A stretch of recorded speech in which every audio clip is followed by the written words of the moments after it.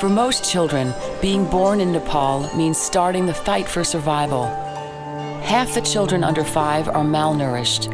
Most of the girls never finish primary school, and thousands are sold into indentured servitude. In 1990, Olga Murray made a promise to do something about this. And for the last two decades, that's exactly what she's been doing. A lot of groups come in here and they want to own an issue and hold it close to their heart and say, only I need to work on it.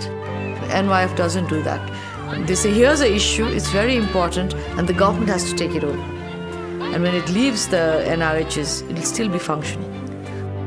The kind of honesty, accountability, and openness that you know she has been able to maintain throughout the years is not easy in a place like Nepal, and that has uh, set a standard for the rest of uh, people who want to help children in Nepal.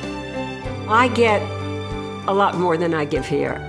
When I see what happens to them over the years, it's so fulfilling. It makes me want to get out of bed in the morning and start all over again because money goes so far here. Uh, you know, when I think what it costs to go to dinner in San Francisco or, or buy a good dress, I know I can save a child's life for that amount of money here.